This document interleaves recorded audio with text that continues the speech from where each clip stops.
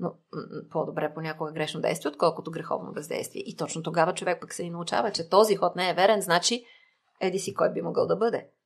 Така се трупа опита. Мадлена Алгафари е психотерапевт и писател. В епизода си говорим за порастването и какво може да ни даде работата с терапевт. Приятно слушане!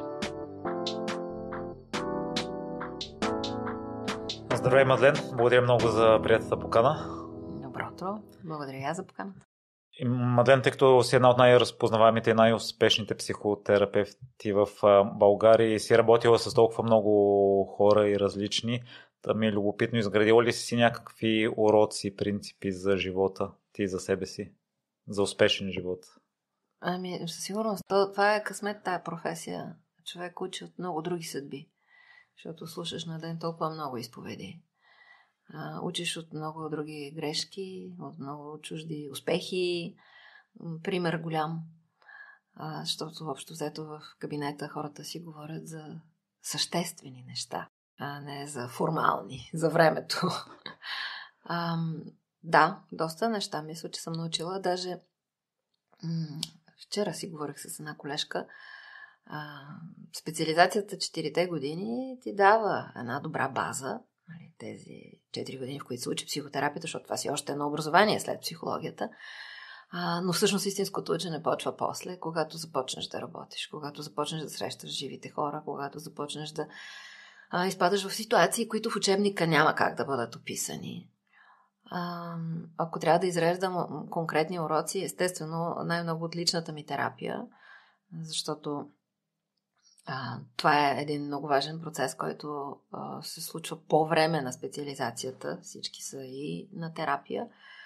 И а, имах много модели на поведение, които ми бяха липсващи, куцащи, запушени направо. А, трудно казвах не.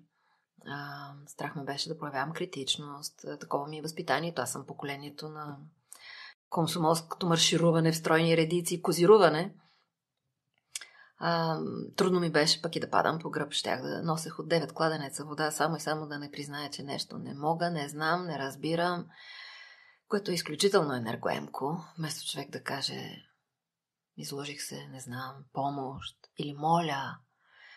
А, добавих си а, аспекти към женствеността, която в тези години някога беше доста асексуална, такава една безполова нали, колхозничките без грим, с куртка и кирка.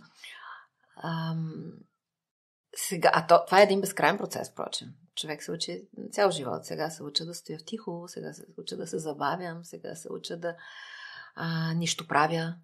Нещо, което е също много ценно, защото не съществува такова нещо като нищо правене. Винаги се случва нещо вътре. И ако човек му даде пространство, почва да изплуват неща и, и, и тръгва процес. И това също е работа. А, научих се, може би, да съм много приемаща, защото а, сърцевината на хората е сходна. Дълбоко сме еднакви, от която и точка на планетата да вземем човек, като потребности, основни нужди. А, но повърхностите са много различни. А, там, където вече имаме личности, маски, там, където имаме религии, етноси. Характера са модели на поведение, които някой притежава, друг пък не може.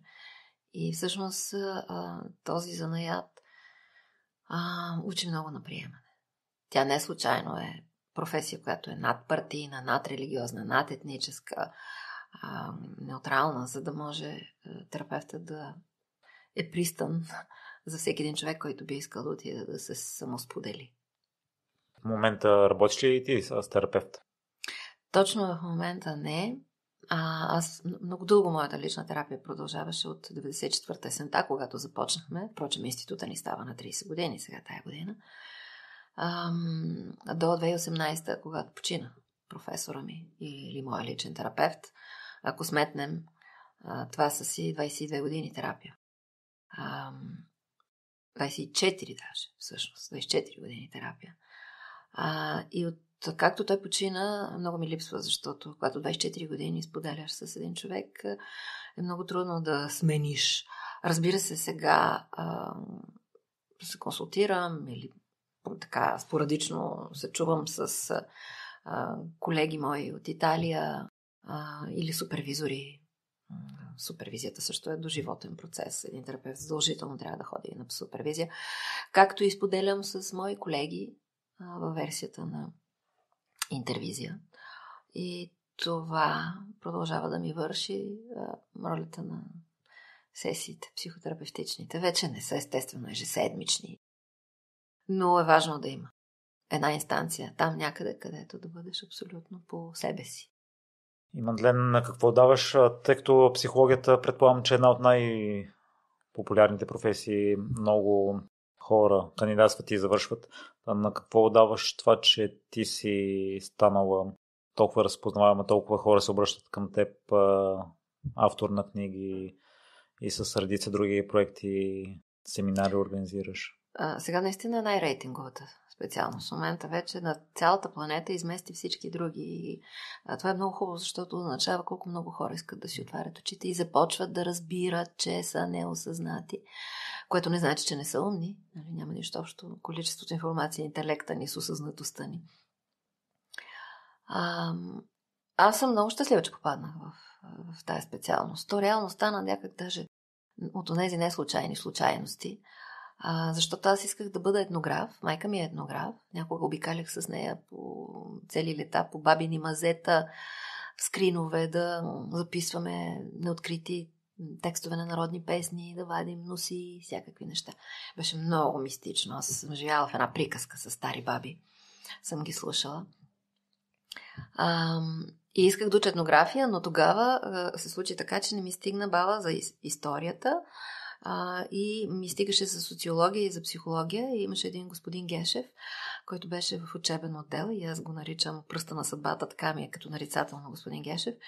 Даже съм го цитирала на няколко места, който като ам, се появих на гишето и той ме погледна и каза, като, а, така, а, стига ти за социология и за психология, но като те гледам така психология. И дори не ме остави да а, мисля и брас ме записа в психологията. А, така че не, не съжалявам изобщо до днес, че това ми е а, професията.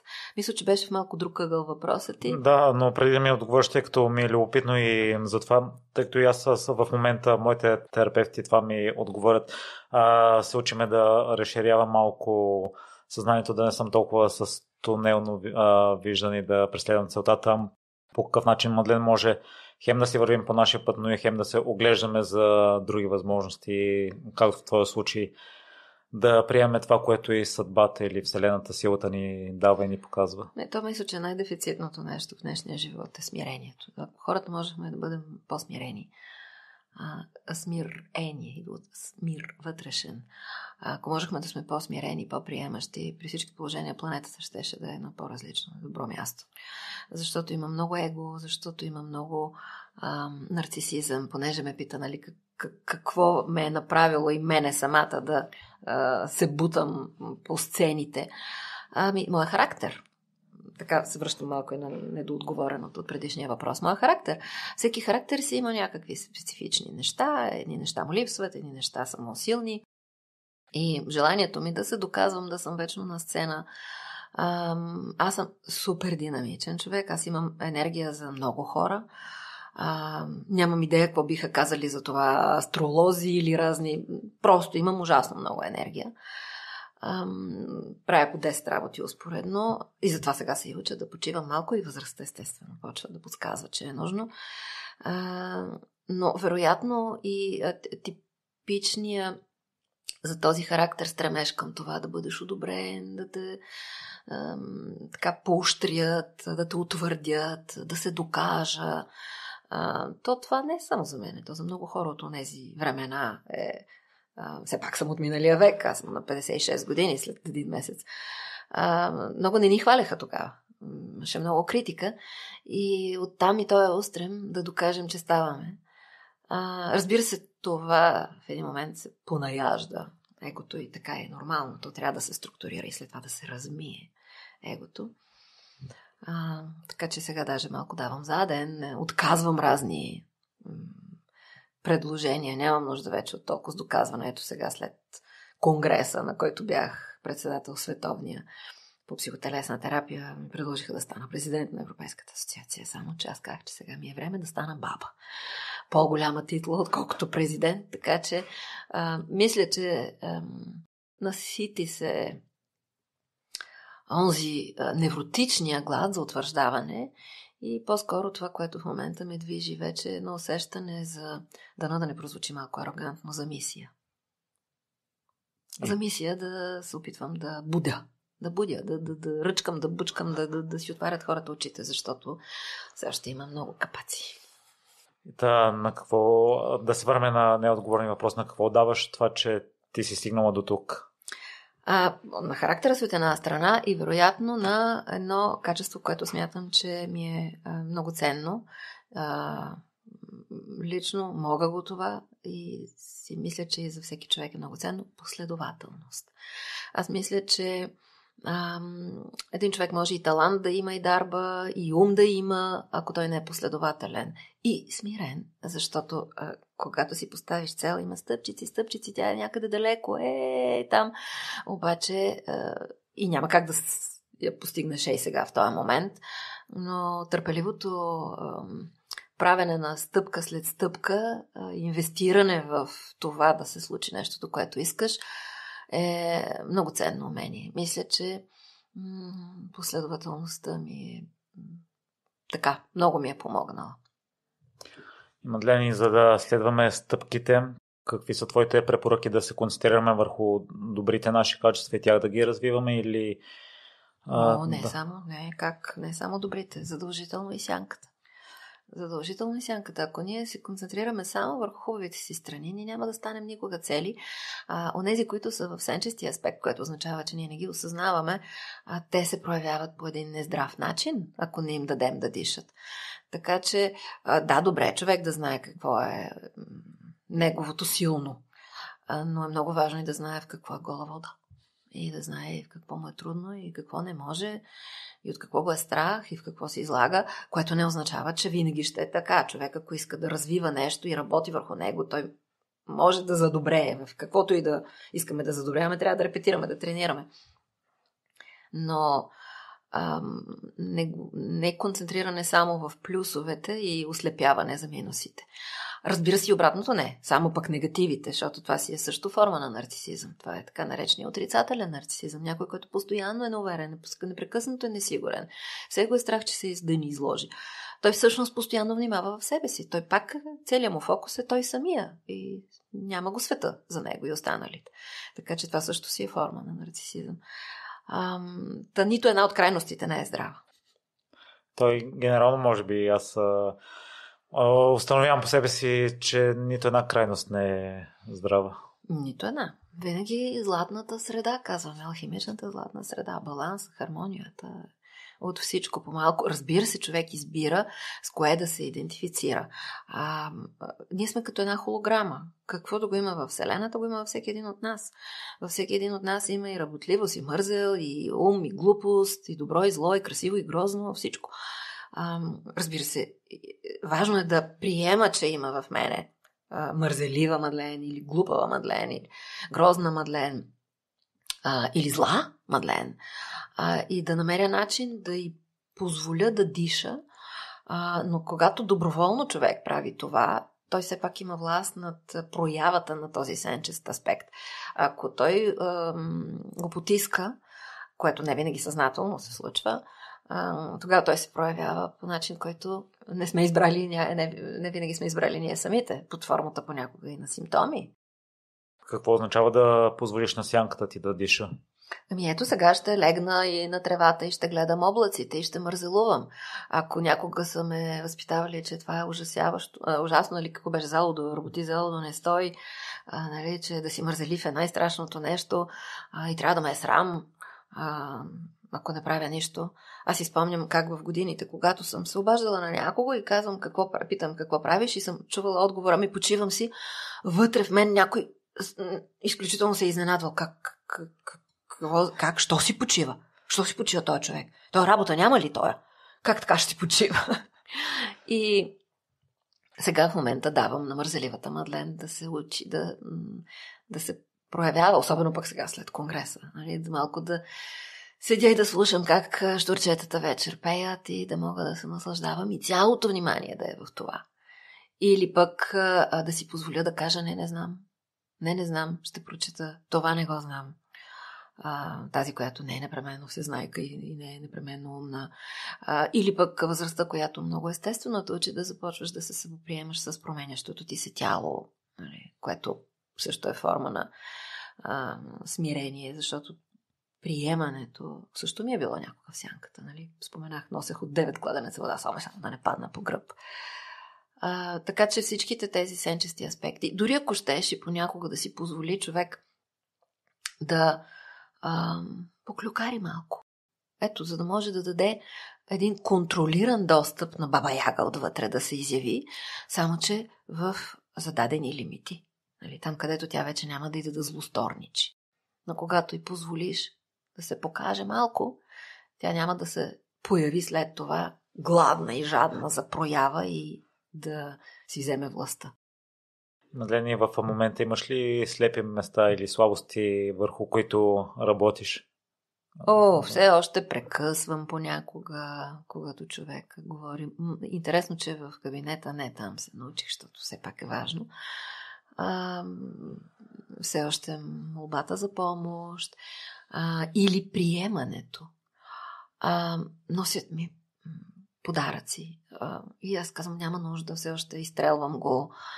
А, и после казвам, а как да няма нужда? Заслужила съм го. Обаче това е на втората нали, мисъл. Първата е, не, не, не, не, не, не, благодаря. Или пък нещаденето на себе си. Казвам го за кой път. Още се уча да а, почивам истински. Или да отказвам. А, първата реакция е, ще го направя. Така че до животно е. И в такъв случай емоционално по какъв начин го приемаш след това, след като осъзнаеш, че не искаш да го правиш, а вече си го направила? Ми, приемам, че съм жив човек. Терапевтите не са някакви а, съвършени същества, са кън. Това, ако някой е съвършен, той трябва да мре. Той няма какво да прави повече. А, чудесно е даже терапевта да показва собствената си уязвимост и това, че работи над себе си, защото това окоръжава и човека от среща да си каже, ето, той също е някъде по пътя, нещо си има да работи още, да доразвива у себе си.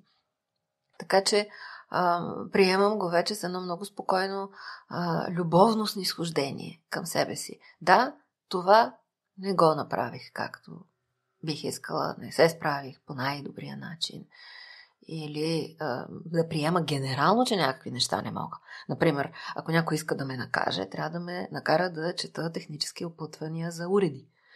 А, мозъка ми категорично от, отказва да, да, такива работи. Или пък някакви м- економически неща. Нали, мъжа ми също се опитва да ми обясни какво това ДДС и що е нужно да има това ДДС.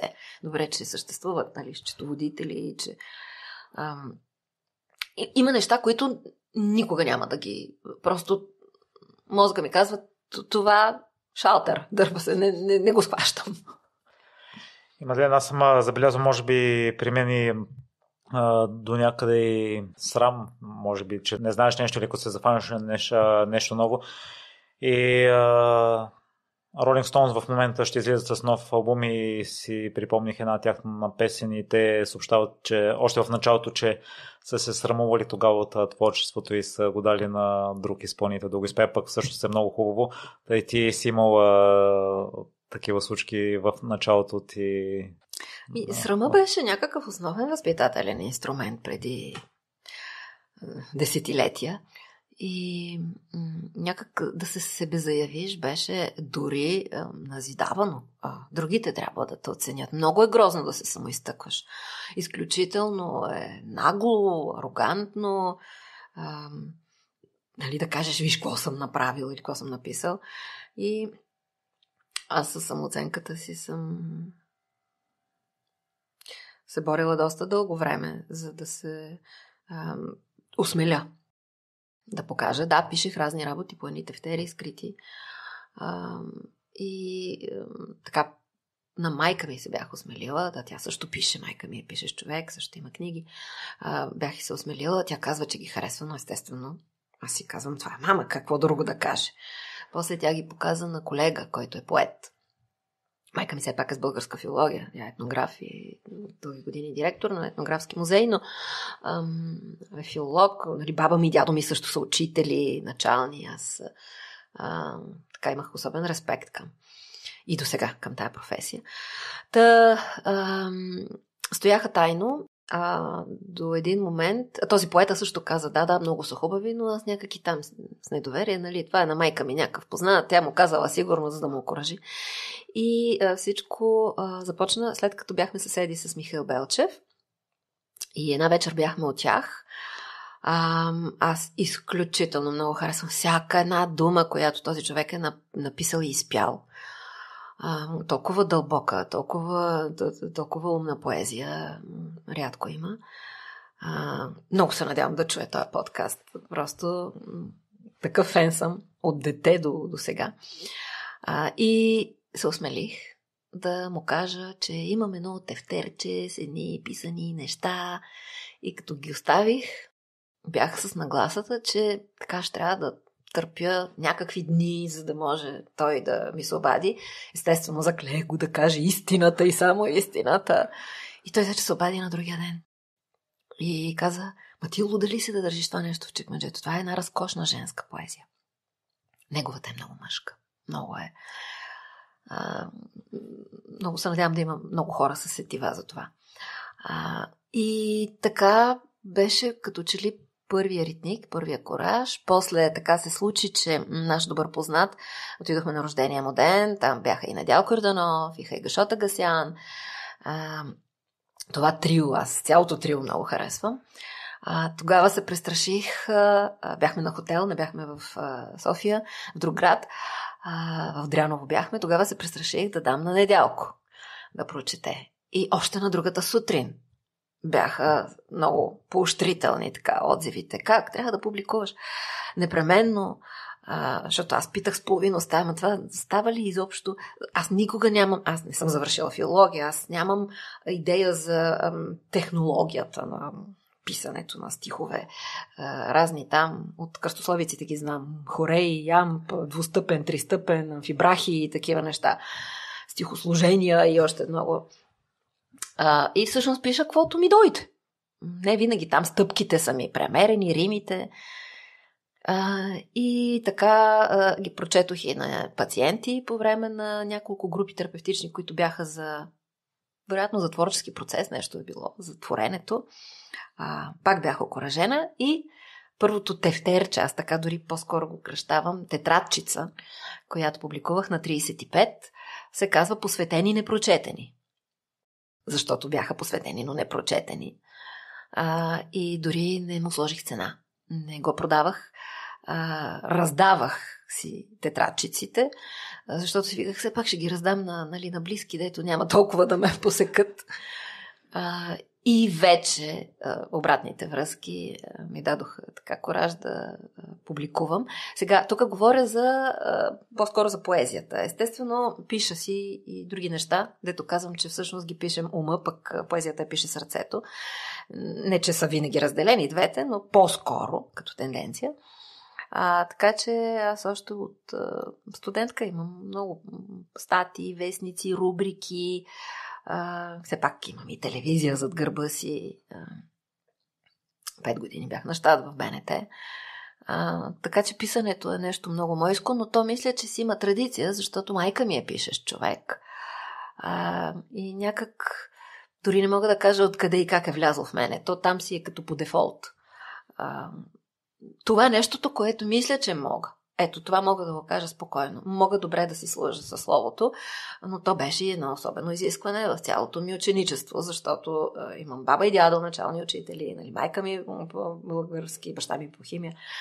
И така че там не съм си задавала въпроса. Мисля, че и, и, и се мъча да превеждам на разбираем език. Когато пиша, сега вече до тук са 14 заглавията ми книгите, а, гледам дори да има терминология някаква по-професионално специфична, да я преведа на много разбираем език, така че да може всеки, който чете, да разбере. Изключителен разказ. Мадлени, аз спомням Биляна Салова, като ми гостува, каза, че трябва да имаме две секунди кораж и именно това, че си имал такъв кораж да покажеш текстовете си на Михаил Белчев. Та Мадлен, спомняш ли си за онзи период, кое ти даде коража да, да му ги покажеш, а не... А вероятно да. ни дал. Ам, сега, мой мъж не е почитател на поезия. Ам, макар, че неговите книги човек, ако ги прочете, са абсолютна поезия, само че като бял стих, нали, в прозаична, нали, няма стъпки и рими, но той има изключително поетичен усет. А, така че всъщност един от ритниците беше давай, давай, давай, давай, давай, айде сега, голяма работа, какво пък толкова? А, той ми е от учителите да не се шашкам толкова с чуждото мнение. То, аз не случайно едната книга така съм си и кръстила. От какво ще кажат другите, до кое сбирам аз, защото а, това е едно от нещата, които в поколението ми е много значимо. Нали? Съседите какво ще кажат, другите какво ще кажат, докато започна да се чувствам много по-спокойна в това какво мисля аз и какво тези, които са ми важни, значими, казват. И... Та коража всъщност Малко и мечка страх мен няма. Аз а, а, мисля, че това също го умея. Разбира се, не правя малумни стъпки в живота си. Сега караш да скачам с бънджи. Няма да и да скачам. Не виждам и за какво ми е. Имам толкова адреналин достатъчен в битието си. А, но за неща, които усещам, че сърцето се обажда, си казвам, мечка страх мен няма. Пък и не мисля, че има и друг начин за справяне с страх. Има една източна поговорка, харесва ми много там от в Дюн я прочетох за първи път, но тя си съществува като поговорка. Ще се изправя срещу страха си, ще го оставя да мине през мен. И когато го погълна, ще съм останал само аз. И втората и версия е, когато мине през мен и се обърна, ще видя само позорните следи от неговото бягство. И тук е на место на тялото усещаш кое... Аз съм е... телесен човек. А, сигурно много ми е помогнала и сцената. Аз все пак от дете съм на сцена пеех и до сега си пея, не, не професионално, пеех хор някога.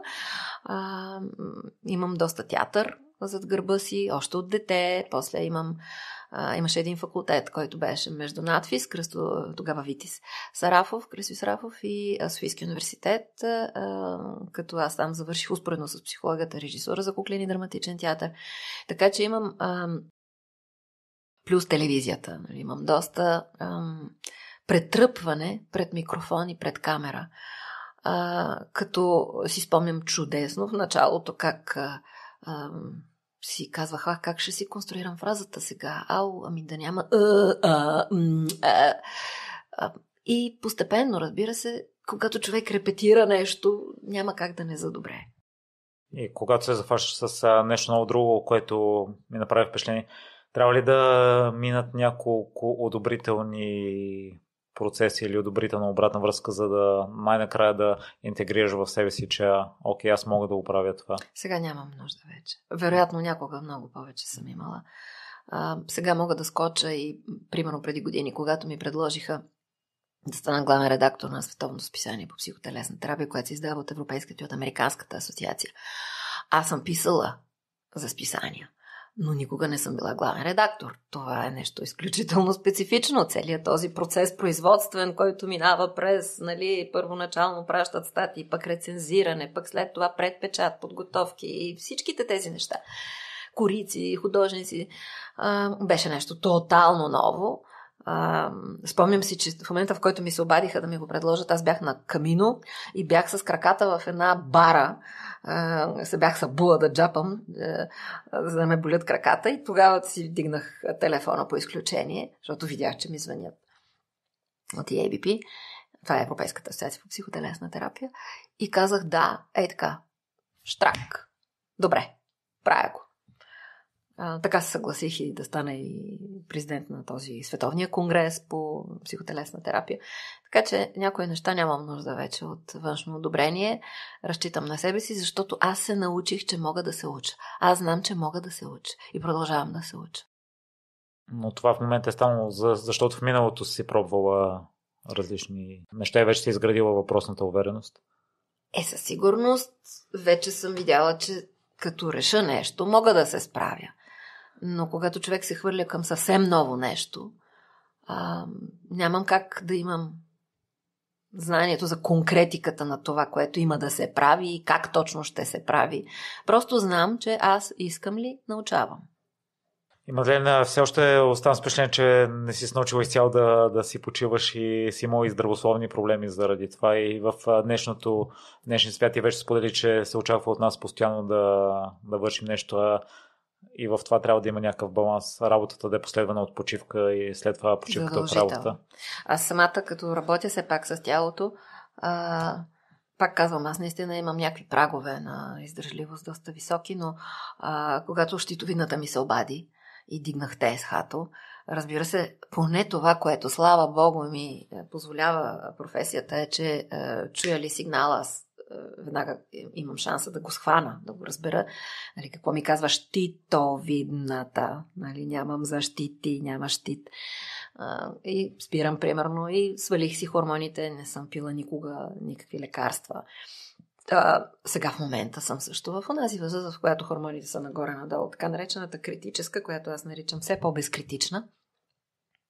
Безкритичната критическа, когато а, кръвното ми започна да се обажда заради прекалено много натоварване или съня започва да се разстройва. Чувам тия симптоми и веднага взимам мерки. Освен на почивка, спокойствие, има ли други мерки? А, хубавите емоции. Задължително природата – музика и пеене, животни, китара, срещи с избраните хора и четене, естествено, движение физическо, краката, ляво-дясно, раницата на гърба, правене на онова, което обичаш, аз в това отношение няма да кажа, че съм късметлийка, а аз си го избрах, защото аз правех много други неща. Аз все пак можех да остана в БНТ, работих в президентството, бях в агенция за някога чуждестранна помощ, преводачка, все пак ползвам 4-5 езика. Работих за едни французи, които произвеждаха филтри за комини, после за едни други с мандри. Много неща оставих.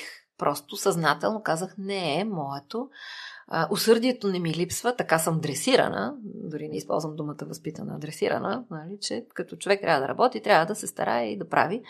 А, но си тръгвах от всичките тези места, места защото усещах, че а, се справям заради усърдието, а не защото ми пее душицата. И така, докато не си попаднах в моя гео, в психотерапията и няма да си тръгна. Никога няма да си тръгна. Въпросните здравословни проблеми появявали ли са след психотерапията, ако там си се пренатоварила? Да, разбира се. Защото от а, някъде чух, че бърнаут се получава, ако правим нещо, което не ни харесва. Ами тя терапията не проработва от днес за утре, от раз да си нов човек. И, е, примерно, бъбречните ми кризи а, само, че за щастие терапията ми позволи да ги прочета, да разбера, че всъщност това е неспособността ми да изразявам страха. Защото камъните в бъбриците са неизразения страх, камъните в жлъчката са неизразения гняв. И когато а, баща ми има също такива проблеми, аз вероятно имам и някаква генетична предиспозиция, обаче със сигурност и епигенетична, защото в крайна сметка средата определя симптома ще се проявили. И в момента, в който аз вече казвам помощ, моля, или не знам, или не мога, или страх ме, или извинявай, или срам ме, изложих се, нямам нито една песачинка вече. И това са вече много години, в които нямам нито една песачинка. Така че, да, случвали са се тези неща. Аз вече специализирах в Швейцария, когато си спомням тия бъбречни кризи, а, но когато разбереш сигнала на тялото, защото то си има много конкретен език, то буквализира символи, тогава вече симптома си отива. И това въжи за всеки един симптом. Нищо, че на пръв поглед изглежда чисто физически и конвенционалната медицина казва, че това е соматичен проблем. 99% от нещата, които чували, сме чували като симптоми, са психосоматичен има ли тези неща, които правиш, когато тялото се обажда? Не ги правиш през този процес или не са толкова често ли? За да се стигне до... Чувам посланието и започвам да показвам слабост, ето в случая, ако говорим за бъбречните ми кризи, да показвам слабост, да се разкривам, да се доверявам, да съм безпомощна, да показвам когато ме е страх, Аз все пак така съм и възпитана, такъв е и примера ми, а, че в цялата фамилия назад погледнато се работи непрекъснато и сме силни. Ние се справяме. А, такова нещо да кажа, а, извинявай, пом- не мога сам мичък, нали, помощ, моля, а, или не знам, няма такова нещо. Да, ако не знам, ще го науча и ще го прознам. А, това а, със сигурност е повод човек да се гордее, че го може. Но когато не може другото противоположното, вече не е за гордост. Тогава вече е болесно. Няма лошо да си справяш се. Лошо е, когато не знаеш да си не справяш се. И двете са важни. Да, и ти споделяш, че именно слабостта е пътя към а, любовта, а, така че и тук трябва да има баланс. Да... Няма как да усетиш, че те обичат, ако ти не можеш да покажеш, че си слаб. Защото тогава нищо не даваш и нищо не правиш. Просто си гол и, и, и безпомощен и молиш. И ако човека дойде, който е срещу теб, значи от любов няма защо друго да е. Тоест ти не си си платил, не си си купил, не си го заставил. Ти си казал помощ. Първата стъпка, коя според теб хората да се научат да са слаби на, на моменти, не е изцяло, тъй като и това е другата крайност, неприемливата. Първата стъпка е да се знаят, че не го могат. Първо човек трябва да провиди и след това започва. Първо нещата винаги са идея и след това се материализират. Да, аз при себе си забелязвам, че преди съм го нямал, но сега като го имам и хората идват към мен. Та, освен че го съзнаеш, също се изисква кораж и смелост да го направиш. Така е. И затова, когато човек тръгне на терапия, той има и съпротиви. И това изглежда парадоксално на пръв поглед. Искаш много нещо и се съпротивляваш срещу същото това нещо. Ами, разбираемо е. И ако не беше така, нямаше да имаме нужда изобщо от терапия, нямаше да съществува тая професия. А, нямаше да има нужда от специалист, който да знае как точно да се справи с тези съпротиви и да ги заобиколи. Или разбие. Зависи от ситуацията. А, защото все едно се искате да си хвърлиш щита, който ти е спасил живота. Да си хвърлиш, ти си брониран, обаче бронята ти е спасила живота. Тя ти пречи и да бъдеш прегърнат, обаче, понеже вече ти е спасявала живота, не щеш да си я хвърлиш. И затова и човек се съпротивлява на промяната. На съзнателно ниво, на рационално ниво си казвам, естествено би било чудесно да мога да се науча да си извинявам, например. А, раз, разума го разбира колко би било печелившо, колко проблеми би си спестил. Но идва ситуацията и той вместо да каже, извинявай, наистина, издъних се. Идва и казва, извинявай да е, добре, какво са толкова? И произнася там една дума, уж същата, обаче енергията не е извинителна изобщо. И ако искаш, Мадлен, тъй като основната тема, поради която реши да те покане е това да, да пораснем и под порастване се няма предвид а, порастване на годините, именно емоционално и чрез характерата, кои са основните принципи на порасналия човек. Този, дето краката са му на земята, пък мислите му продължават да са в космоса, в висините, в небето. Майката земя и бащата небе. А, порасналият човек знае, че е всякакъв. А, децата обикновено са а, полюсно мислещи, черно-бяло. А, този от добрите, този от лошите. А големия знае, че у всеки човек има и добро и зло. Порасналият човек не мисли така черно-бяло, а той е оправен в смисъл на широкоспектърен в моделите си на поведение. Т.е. той може да прояви сила, той може да прояви слабост, той може да привлече, той може да сложи граница, може да бъде гъвкав, може да е пасивен, може да е активен, да, да е реактивен и активен, да планира, да не знае, да, да приеме абсолютно ам, цялата човешка палитра на качества, че не му е чужда. Ам, приемаще при всички положения. Ам, със сигурност има и его, но вече се и размива егото. Тоест, а, ние когато сме раждаме, нямаме още его. То трябва да се структурира и след това трябва да се размие. Тоест, много е важно това аз да се случи, да знам коя съм, какво мога, какво не мога. Разбира се, че то се развива и се разширява, но след това да може да се появи нието, да може да се появи другия, да мога да вляза в обувките му, да бъда емпатийна. Малкото дете не може все още това, когато е на много ранна възраст. Нали? То в началото е егоцентрично и е нормално, когато всички се въртят около нас, за да ни нахранят, преобуят, се преоблекат, когато сме манички бебета. И след това вече този егоцентризъм трябва да си остане там, само където му е мястото в първата годинка от живота. За там е нормален. За след това вече не е. След това можем да бъдем егоистични, но в смисъла на ам, здрави егоизъм означава ще поискам за да дам. Егоцентризма е само получавам, нищо не мога да дам още, защото съм бебе. А, но здравия егоизъм е, не се забравям, естествено, но за да мога да има обмен, за да мога да връщам. Нали? Захранвам себе си, за да мога да отдавам след това, защото човек може да отдава само това, което има. Нали? Ако съм пълна неудовлетвореност, нямам как да дам удовлетвореност, ще давам, ще излъчвам неудовлетвореност. Ам, има лична отговорност, порасналият човек. Малкото дете което е нормално, защото то по принцип е по-малко отговорно, тъй като все още няма и достатъчно опит, то винаги казва, дори като се удари, казва, ах, лоша маса. Нали, облъснало се в масата.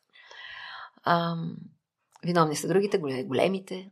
Големият човек знае, че каквото и да му се е случило, то някак е инициирано от него.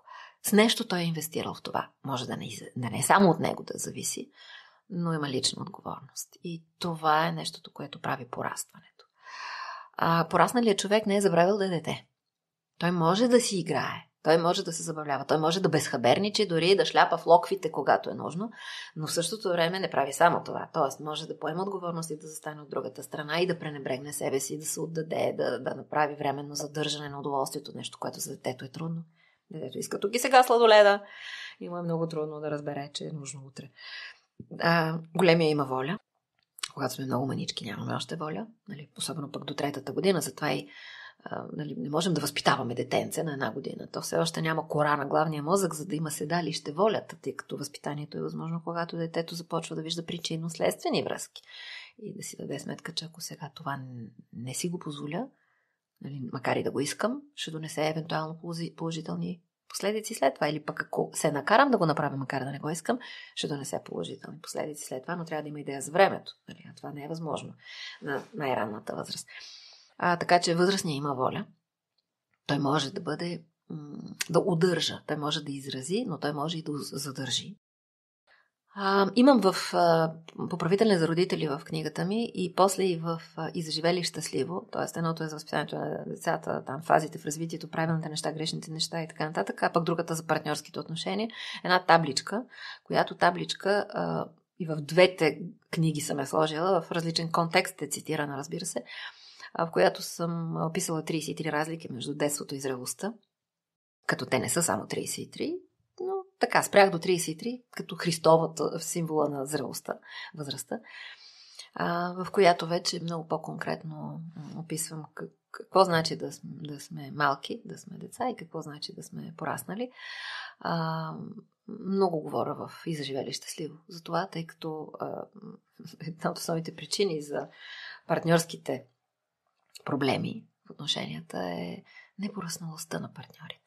Не, не става дума за непорасналост на години или на акъл и на ум, а на житейска зрялост. Това са две различни видове зрялости. И разликата между двете, това ли е, което си ми там са 33, така споменах няколко, нали, за черно-бялото мислене, за волята, за личната отговорност, соченето с пръст на другия, на външния а, човек. Още там други са описани. Конкретиката в мисленето, абстрактно-логичното мислене, гледно-образното и още доста. Да, в Storytel имаш един епизод. Може и там да съм го записала, не си спомням, но вероятно и там някъде съм говорила за зрелостта и те вече са 4 сезона. Не? Няколко серии, не ги помня. Има ден, преди да засегнем някои от нещата, ти споделяш, че много хора живеят на автопилот без да го знаят. Та, кои са характеристиките на човек, на такъв човек? Ами, неосъзнатия човек не знае, че е неосъзнат. Той не знае, че не знае. А, ами, характеристиките, да речем, то се вижда отстрани. Сега, терапевтите не сме в никакъв случай ясновидци, но когато вече си научен да виждаш зад паравана, ти знаеш за другия повече, отколкото той знае за себе си. А, и това не са свръхестествени умения, това просто е една логика. Сериозна теория. А, примерно виждаш го човека, че му липсва модел на поведение и вече знаеш, че той не е цял. Да речем, не може да си защити мнението, отстъпва, качват му се на главата, постоянно е жертва, непрекъснато вижда вините в другите. Ето преди малко стана дума. Значи този човек не знае, че не е порасъл. Или пък не може да падне по гръб, не може да покаже тази слабост, за която също говорихме преди малко. Да се предаде, да се отдаде, да се предаде. Способността да се дадем е изключително удоволствие. Това е най-висшето уважение на себе си, да можем да се подчиним.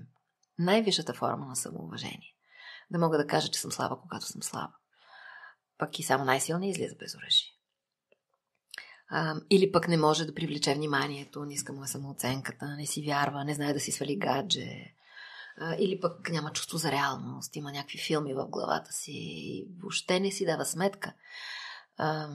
Има немалко хора, които са и публични а, личности и а, ние никога не сме напълно съзнати. Ние сме 5% съзнание и 95% подсъзнание. Ние терапевтите копаем, копаем, копаем, белкин ги направим 10%. Ние също непрекъснато ровим себе си да доразвиваме. Аз продължавам да виждам някакви нови неща в себе си, които до, до днес съм била сляпа за тях. Но а, има и много хора в публичното пространство, които м- нямат реална представа. Има една хубава народна такава приказка, не си знае колко му дълга сянката. А, и да речем, някой отива да пее, а пък не може да пее в гласа на България. Или пък някой отива да ръководи, а пък няма потенциала да бъде лидер. А, така че много неща не знаем за себе си и тук изброих няколко такива признака. Или многото телесни симптоми. Многото телесни симптоми показват, че ние не, не знаем, не, не сме осъзнати, защото тялото спира да боледува, когато ние а, сме осъзнати за него. То просто иска да ни каже нещо по своя си начин през болестите, защото явно не можем да го осъзнаем през нематериалната своя същност и затова трябва да се втелеси, да се материализира, за да можем през тялото да се, евентуално, да го разберем. А, всеки малък симптом ли трябва да му обръщаме внимание, маден или е, а... дядо Фройд също казва понякога пурата е пура. Естествено, че ако седиш на дъжда отвън и се простудиш, ще почне да ти тече носа. Все пак тялото си има или физиология, която реагира. Така че има понякога симптоми, които са а, моментни, контекстуални, но доста пъти са всъщност и метафорични. И ето там е важно да можем да се питаме. И във връзка с отговорността, аз съм голям почитател на това, че всеки човек е отговорен за живота си. Това, което ти сподели, че една фраза или идея може да има различни думи, с които е описана и от теб за първ път го чух, че когато си отговорен, разбираш, че имаш и ходове. И това също. Точно така. Дори когато си виновен, защото тази дума не я харесваме много, но а, всички бъркаме. Слава Богу, иначе не бихме пораствали. И това е най-полезното нещо в живота. Най-правилното нещо в живота са грешките. И е, всъщност, когато човек разбере, че нещо, да речем, е сгафил и си каже, да, изданих се тук, а, да приемеш, че от теб е грешката, е шанс, защото имаш власт. Защото имаш контрол. Като е мой косура, значи мога да правя нещо, да променям. Докато е у другия, нямам ход. Хода е на другия. И това е едно лишаване на себе си от шансове. Заради неспособността да поемеш отговорността си, ти се лишаваш и от шанса да имаш ходове. Не винаги верни, но по-добре понякога грешно действие, отколкото греховно бездействие. И точно тогава човек пък се и научава, че този ход не е верен, значи еди си кой би могъл да бъде. Така се трупа опита. И по какъв начин да сме отворени към грешките, тъй като също споделяш, че успешните хора са хората, които правят и най-много грешки. Какво питаш? Какво, как да, да ги приемаме? Да, да ги приветстваме, тъй като аз в миналото може би съм страдала и все още от перфекционизъм и това, че искам да спечеля в кавички винаги да не... И перфекционизма си е форма на автоагресия. Това е човек, който не се и обича достатъчно. Няма много способността едно изходително такова умиление да изпита а, към, към самия себе си. А, защото ние в, в, в паспорта може да пише, че сме на 50, на 60, на 70, но в много отношения сме деца. И винаги има неща, на които се учим и винаги има, докато сме живи, шанс нещо да поправим, ако сме сбъркали.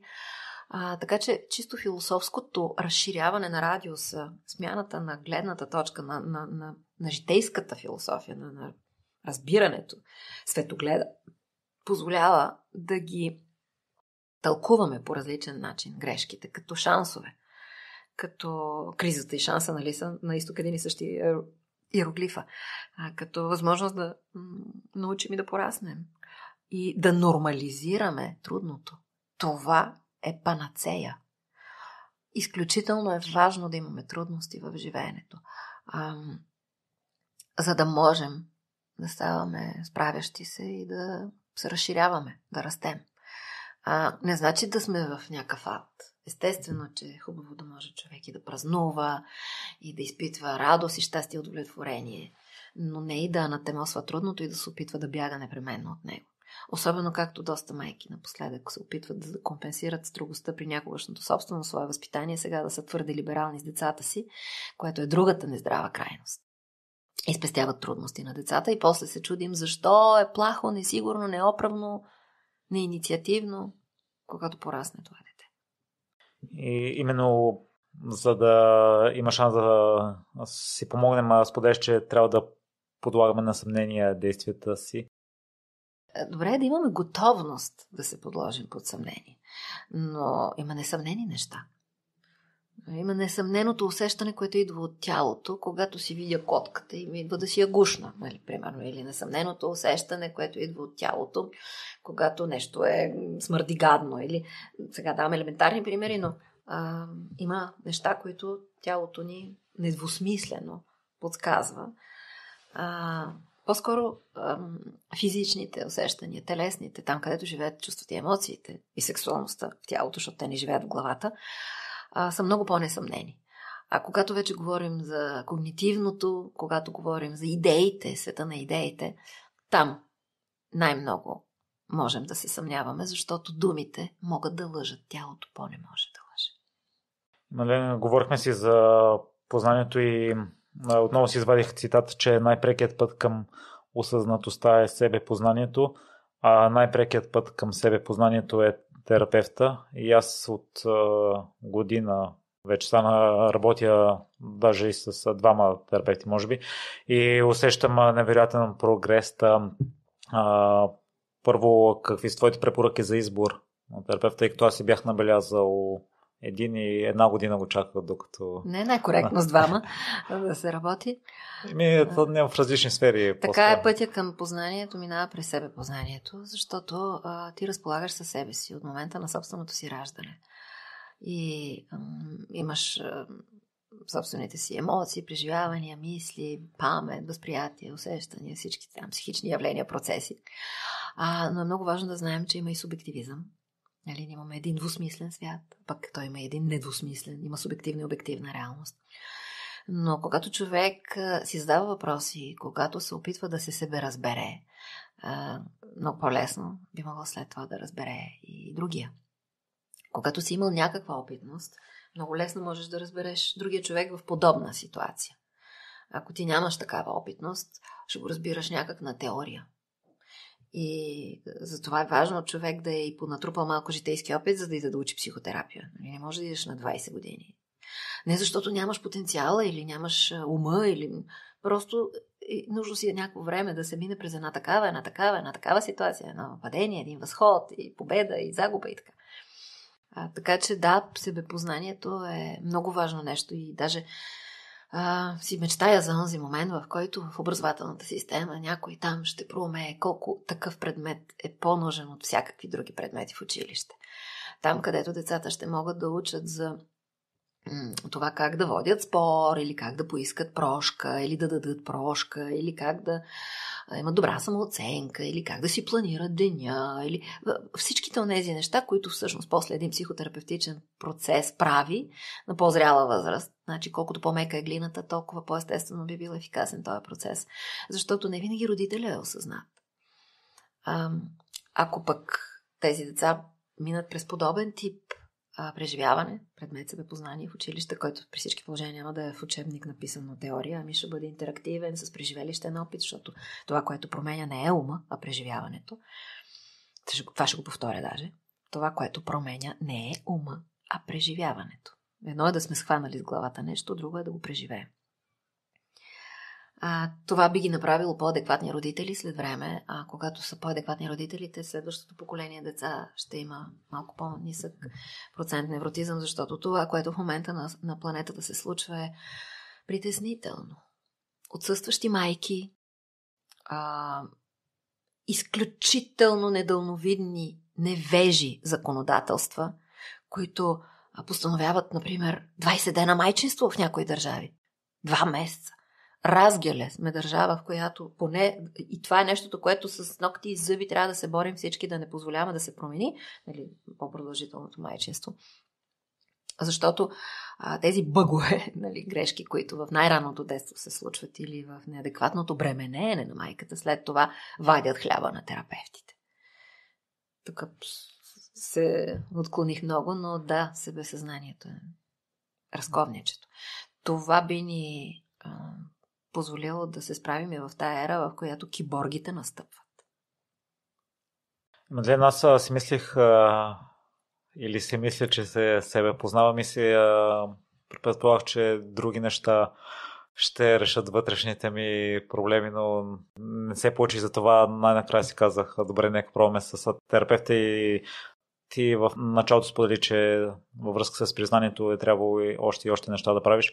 И аз това установих при себе си, че се бях концентрирал върху бягането, примерно, или върху някои други събития те не, не променяха всъщност себеоценката и не изпитвах нищо от това. Та, аз го давам на себе си, може би, различни приоритети или различно нещо си мислих, че ще ме излекува, пък то всъщност не излекува това, което ще ми попречи да сваля преградите, тъй като имах имам за постигане на някои нещата терапевта на коя стъпка трябва да бъде, тъй като ако не, не бях постигнал това, което съм постигнал, пък нямаше да си мисля, че има нужда от терапевт, примерно, или след това пък силно щях да го преследвам. Аз самата а, реагирах на някои реплики на моя професор едно време. А, нали, това е професор Валдо Бернаскони в Швейцария, той ми е и личният терапевт. А, и, и си казвах, той говори за някой друг. Какви ги говори? Той ми казва, Боже, колко тъга има в тебе. И викам, каква тъга, бе? Аз съм войник, аз съм силна, аз се справям. После ми казваш, кого мразиш? Аз, а, не, аз не познавам такова чувство, не, аз съм човек добър, аз Една книжна представа, такава наивна, идеалистична за себе си. А, така че, или пък си спомням един от другите ни преподаватели, Франко Казарин, който а, на едно преживяване, подчинение, аз съм в краката му като просик и трябва да се помоля. И понеже съм била дълги години на сцена и си казвам, ах, кой, аз ли няма да го докарам? И тръгват и сълзи. И той ме поглежда и казва, Мадлен, това е най-виртуозното на ушким, което съм виждал. Супер си добра! Обаче е като че ли. Не си автентична. Не е твоето. Това не е мадленската тъга. Тя не е по-мадленчена, тя е най-изиграна. Тя е чудесно, виртуозно изимитирана. И, и така бавно и полека терапевта те завръща към онова, което се нарича автентичното твое себе си, да се свържеш. Защото много неща, които смяташ, че ги нямаш у себе си, всъщност ги имаш, но ти не си свързан с тях. И после вече в терапията започваш да... Първо се съпротивляваш и казваш, ах, то си говори за някой друг, нали? Какви ги говори той, а, о, това не е верно. Нали? Той иска да ми вмени проблем. Даже той иска да ми вмени, че имам проблем, защото аз съм убедена, че го нямам този проблем. И бавно и полека после започваш да разбираш, че всъщност той с много добронамереност ти е казвал не най-приятни за чуване неща, а, които има смисъл обаче да бъдат допуснати. Дори в началото да а, не ги вярваш, да си кажеш, бе, чакай да видя да не би пък. Да. Защото тогава започваш постепенно си кажеш, мале, и верно. Той, както Лиз Бурбова в книгата си Пете травми, накрая пише сега, като я прочетете първия път, ще видите всичките си познати вътре. Като я прочетете втория път, ще почне да ви мирише, че и за вас е написано. А на третия път ще си кажете, леле, аз съм описан идеално тук. Да, Мадлена, като приоритет, къде смяташ, че трябва да е работата с терапевт? Винаги, а. навсякъде. Винаги навсякъде. А, ако един човек иска да си направи най-големия подарък, е добре е да тръгне по този път.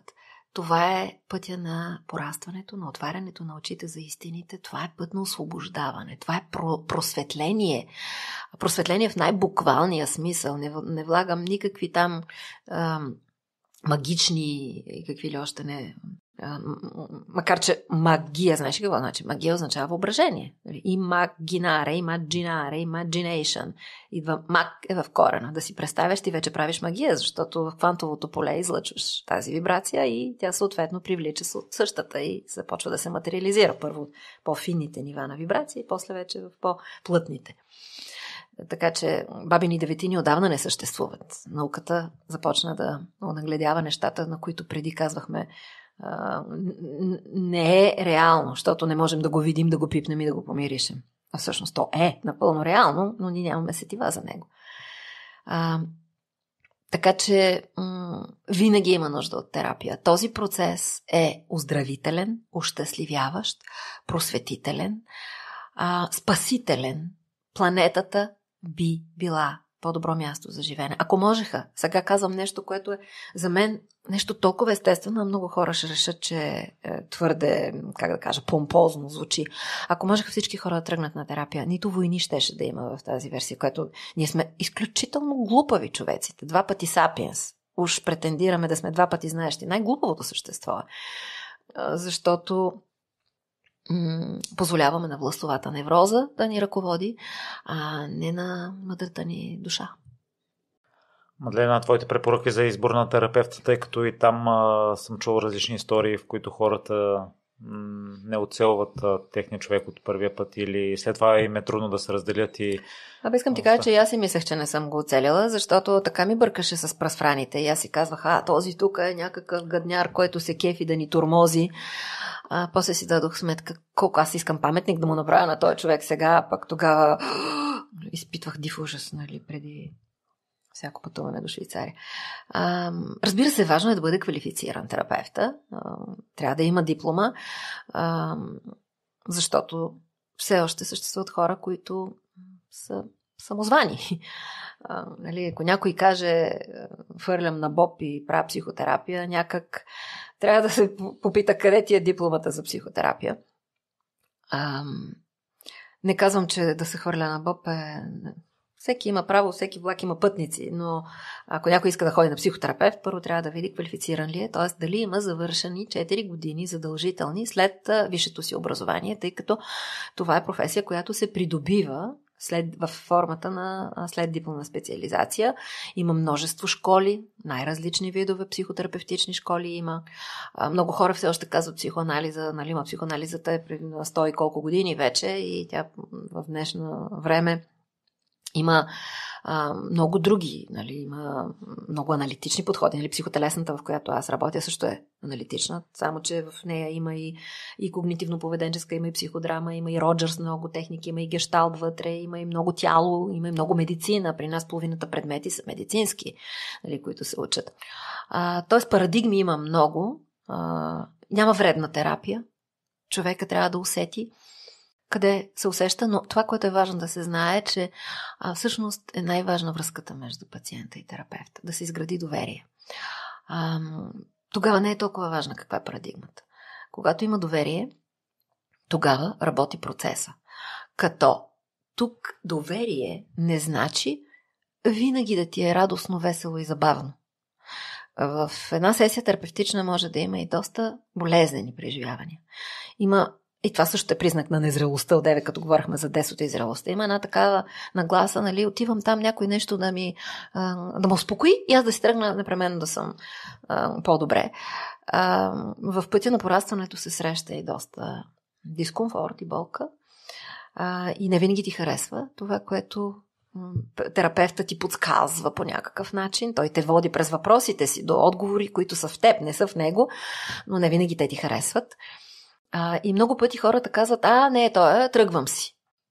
Защото идва едно поколение малко по-директно, ще кажа, разглезено. А, не казвам всички хора, говоря за тенденция, но не всеки човек, естествено. А, и оттам една такава наивна, малко консуматорска, малко идеалистична детска представа и очакване, че като ида на терапия, там трябва да е само веселко и, и всичко штрак ще се подреди и на всичко отгоре аз нищо не трябва да правя, нещо той ще ми направи. Не, няма такова нещо. Целият път си го върви човека сам с неговите крака. Лен, ти защо не си усетила твой професор в началото, че... Защото той беше идеалната проекционна плоскост. Има нали, нещо, което се нарича пренос и контрапренос в терапевтичния процес и а, той изключително много прилича на моя баща. Той е на точно възрастта на моя баща, а, с а, доста взискателен тип характер, много строг, ам, с ам, така, не, спестяващ хъпливи понякога реплики, а, не толкова поощряващ. И това всичкото беше идеалната за мен. Беше шанс там да си преработя това, което ми беше проблематичното, страха от таткото, на когото винаги съм козирувала и приемането след това се случи. То, това е пътя на всеки един терапевтичен процес. Първо се бунтуваш, нали, минаваш си се едно по пътя, който не си успял със собствения родител и след това приемаш и даже оценяваш изключително много. Защо не си усетил, че в началото е бил... Беше ме страх. Просто беше страх. Аз това също установих при мен, че имам пълно доверие на терапевката ми, дори да не съм съгласен с нея, слушам, изпълнявам. Та, доверието и за това помага и с такава нагласа, предполагам, трябва да отидем и да започнем работа с човека, да следваме процеса и стъпките, които. Да, но ако, ако този човек все пак е завършил и има такава диплома, той е минал през лична терапия. Задължително, ако е специализирал психотерапия, трябва да е бил на лична терапия. След това супервизира, има личен опит, трупа непрекъснато, а, защото ние супервизираме и докато сме живи. Тоест, винаги има още един по-опитен от теб, който трябва да погледне като още едни очи и още един опит, а, или в групова а, супервизия, или в интервизия. А, така че важно е да, да сме сигурни, че все пак този човек не е случайен. Макар, че понякога един добронамерен случайен човек може да бъде полезен, но ако искаме да ходим на терапия, сериозно, добре е да има опит този човек такъв. Мадлена, тъй като при мен го няма болезнения процес и аз попитах терапевката ми защо не се получава така, тъй като от всеки чувам, че се минава през къв и а може да не я цитирам, а по-дословно предавам по смисъл това, което си спомням, а, че тя ми каза, че понеже съм интелигентен, някак си тя кога се опита да ме натисне, аз някак си го заобикалям. Та, винаги ли терапията ще е болезнена това, което е, Не, винаги, разбира се, в, в терапията има и супер много празнуване.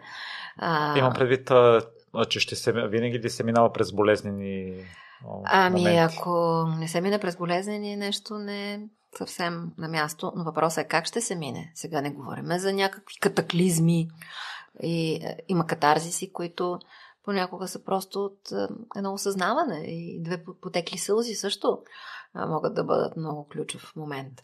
А, да, има хора, които повече чуват, има, защото различните характери имат и различни съпротиви. Нали, някой работи малко по с форсиране, а друг даже пък тогава най-не работи. Защото той като полан на кола се затяга, колкото по-го дърпаш. И, и, и за това е важно някой да е учил за терапевт, защото тези всичките трикове, хватки, фокуси, неща, няма как иначе човек да, да ги познава сериозно, нали, като вътрешна динамика, като закономерности, защото те си има, вътрешния свят си има причинно-следствени връзки, правила също. А, плюс това при някой се случва на един етап от терапията, при друг на друг етап от терапията. А когато един човек наистина е интелигентен, той може. А, и твоя характер е този, нали? ние сме се и същи, между прочим, а, характер, но а, за него е важно, тъй като сваля вътре, че има логика. Аха, това защото еди си какво, тогава вече на него му се изтопяват и съпротивите и тогава не се и преживява като толкова болезнено това стимулиране, за да не го кръстим притискане. Но се и променя и в психотерапията има тенденции също. Нали? Ако е много по-хард бил подхода преди 30-40 години, Днес имаме изключително много ранни травми, имаме много бордерлайн черти личностови, там вече е необходимо да се почне с праймал терапия, т.е. трябва да имаме по-скоро едно приемащо, все едно а, такова топло отношение към клиента, а, за да може да бъде провокиран на някакъв по-късен етап от терапията. Не е така хард подхода, както е бил преди половин век.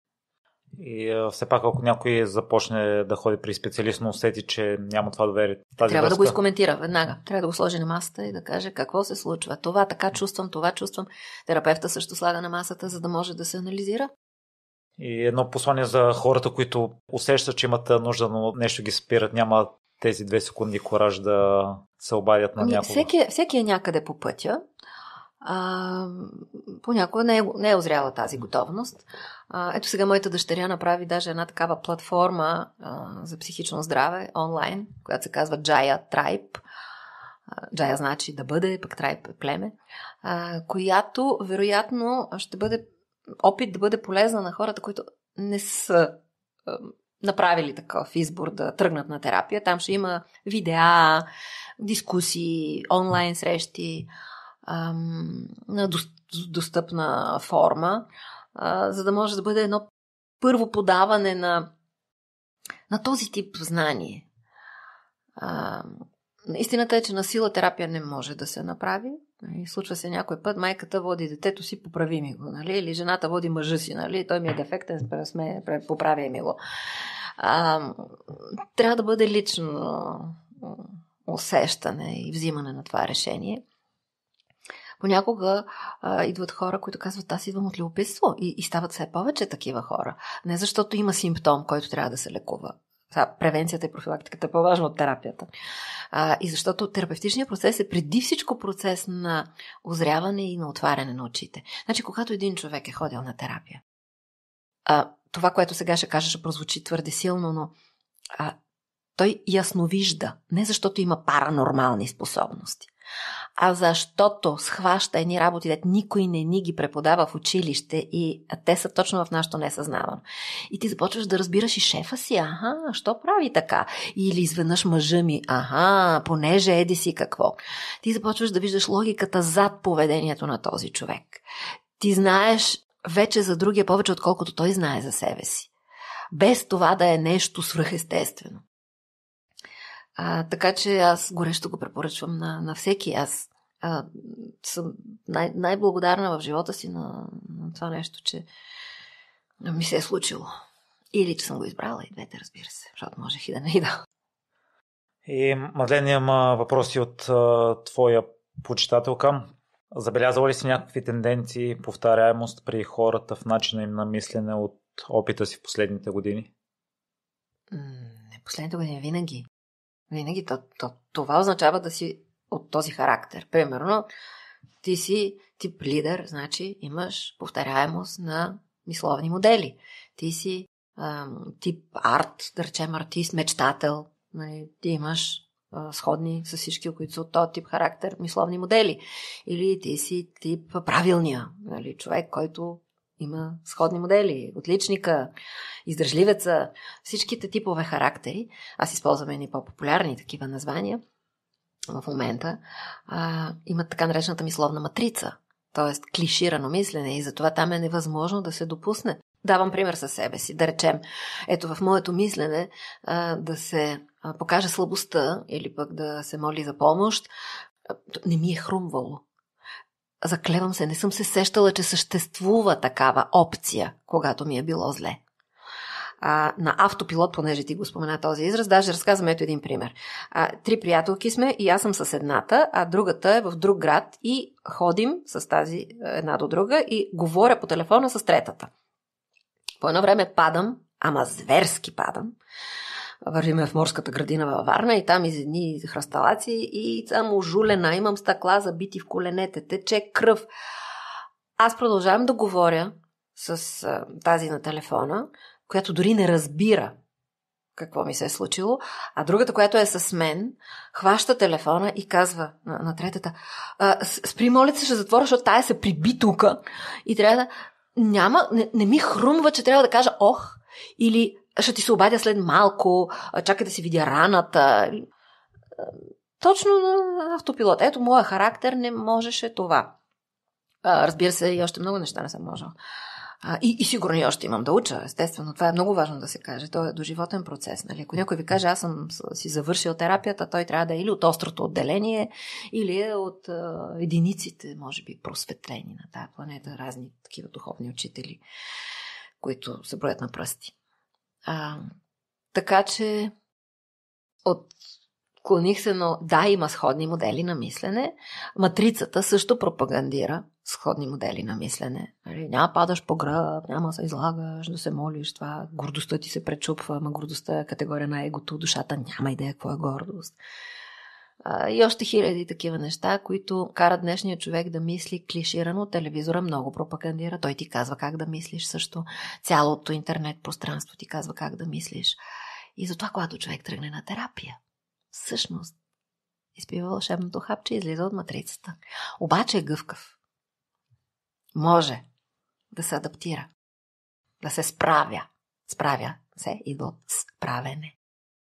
Да, във връзка с гъвкавостта, от това, което съм слушал от спортисти най-вече, те също не е желателно да показват слабостта си, тъй като няма да ги изберат за отбората. Да кажем, такъв тип хора, които се налага да другите да не ги виждат слаби. Слабостта на, на друго място трябва да. Е, да точно така, значи няма абсолюти. А, човек проверява реалността и избира контекста. Има контекст, в който някаква реакция ще я задържа. Изобщо няма да проявя, защото не е подходящо. А, така че важното е да можем както да изразим, така и да удържим и да преценяваме къде, какво, колко, защо и как. Естествено, колкото по-автентичен е един човек във всеки един контекст, той толкова повече ам, хаби, пести енергията си, не я хаби. Защото преструването винаги е много енергоемко. И колкото по-силен се е проверил и се е усетил, толкова по-лесно се, си показва слабостта. И нали, когато знаеш, че можеш да си отстоиш територията, тогава нямаш проблеми да отстъпиш. Но ако не знаеш, че можеш, не си вярваш на силата, отстъпването за тебе тогава не е избор, а е липса на избор. Тогава ти си капот, ти си въгъл, ти си прецакан, ти се налага да отстъпиш. Е, няма как да харесваш подобен ход. Но ако, ако ти можеш и да настъпиш и да отстъпиш, тогава отстъплението е твой избор, а не липса на избор. Това е много хубаво, че го засегна, тъй като аз в миналото си мислих, че не, не оценявах контекста и да кажем се държах по един и същи начин навсякъде. Ема, е, затова казваме, казано. че характеровата матрица е, все едно си представи, че имаш имплантирани лещи, които са, да речеме, само червени. Ти ще виждаш червен света. Ти, и да искаш, няма да знаеш, че има други цветове. Нали? Или само сини. А, тоест, да си определен тип характер означава да не можеш да си сляп за някакви неща. Те съществуват, но ти си сляп за тях. А, с какви проблеми идват най-често при теб? Ми, много, най-различни. Малко като да е зависимо от заглавието на книгата, която издавам. А, защото това съм го видяла в годините. Да речем, а, ето сега последната ми е и за живели щастливо, тя е за партньорските отношения и изобщо за здравето и щастието. И естествено съм залята от а, фамилни, от двойки, които искат да се работи партньорски отношения. Когато поправителен за родители издадох, тогава за възпитание на децата. Макар, че той терапевта винаги говори за това всичко детство, възпитание, партньорски. А, има повишена тревожност напоследък и депресивитет. То си е резултат от случващото се в живота ни в последните десетилетия и особено последните години. И стреса е много висок. Но това, което може би е важно да кажа, че и много хора не го разбират. Аз в момента преподавам повече, аз работя един единствен ден с пациенти. От другото време супервизирам и така. в института, където специализират искащите да станат психотелесни терапевти. А, и, и понеже от една страна работя един единствен ден, от друга страна, когато един човек започне терапия, той ходи година, две, три, четири. А, и ти си знаеш, че всяка седмица в този ден и в този час си на терапия. И, и хората се бунтуват, ама вечно нямаш часове. Ами нямам, защото аз в момента работя с едни 7 човека, които 7 човека след 3-4 години, като си приключват процеса, тогава ще може да влезе някой друг. А, такова, такова е естеството на, на тази работа. А, но пък имам екип, а, от а, хора, които работят а, и в моя кабинет, и толкова много от колегите ни, завършващи института, от специализантите и съответно пренасочвам. По какъв начин, тъй като съм чувал и, че не трябва терапевта да ни е патерици постоянно да разчитаме на него? Ами, той за това терапевта работи за озряването на този човек, защото той е един своеобразен в кавички родител, който обаче е правилният родител и те превежда по пътя, който е трябвало да изминеш, но по един здрав начин. И а, това предполага, че той осъзнава, бидейки самия той зрял, а, че е необходимо да бъде отговорен, самостоятелен, а, да стъпи на своите крака и да продължи в живота си този човек, а, а, справяйки се сам, а не закачвайки се, залепвайки се за терапевта, който става като форма на зависимост. Тоест, това не е адекватен процес терапевтичен. Да, той е необходим терапевта в един етап. И тогава подкрепата му е безценна. Но целта на този процес е един ден да не се нуждаеш от него. Но въпреки това е хубаво да се посещава, но не толкова често. Винаги човек има нужда от някакви консултации. Аз сега нямам постоянен терапевт, но аз имам, както споменах, е, един а, такъв колега, който много уважавам от Бразилия, с който си говоря понякога онлайн. Той беше един от лекторите тук сега на Световния конгрес, който в София се случи. Е, италиански колега също. И една колежка също а, с които съм си говорила в различни ситуации, с, различен контекст, като в версията имам нужда от а, подкрепа, искам да чуя твоето мнение или да ми видиш а, слепите петна. Така ми се е случило и с Хорхе Букай, също съм работила известно време, в който си бях пациент, той си беше терапевт. Каква е есенцията на женствеността? Ми не едно нещо. А, Есенцията е да е половината от проявленията на битието. Така както другата половина е мъжествеността. А, важно да се знае, че не става дума за сексуалност, когато се говори за женственост и за мъжественост, с две философски, енергийни начала, архетипни принципа. А, мекота, топлота, ирационалност, емоция, невидимо, нощ, подсъзнание, а, интуиция, адаптиране, отстъпване, разтваряне, отдаване, рецептивност, ам, смърт. Всичките тези неща са все в женското измерение. Логиката, рационалното, действеното, активното, деня, пробивност, рискуване, борбеност, инцизивност, атакуване, настъпване, революция. Това е мъжкото. Еволюция е женското, революция е мъжкото. И двете присъстват у всеки един човек. Това, което виждаме днес, и това много го пише из всичките ми книги. Има го и сега и в Изживели щастливо, има го и в От какво ще кажат другите, до кое избирам аз, е за случващото се с мъжкото и женското, че да, има хубаво е да се реабилитира мъжкото жената и женското мъжа, заради тая голяма полюсност някогашна, която трудните условия на живот са налагали. Сега имаме изкуствен комфорт и не е необходимо мъжа да ходи космясал, брадясал, заглигани с копие, нали пък жената да седи да варди огъня в пещерата и да не може да излезе. А, има едно припокриване, вече едно влизане на мъжкото женското и женското в мъжкото, но когато започне да преобладава мъжкото у жената и женското у мъжа, наблюдаваме симптоми. Така че да, реабилитираната доза, както в Ин има малко Ян и в Ян малко Ин, е много важна за здравето, но тогава, когато вече вътре баланса се разбърка, наблюдаваме симптоматика. Тоест, едно твърде мъжко живеене е разболяващо за една жена и твърде женско е разболяващо пък за мъжа.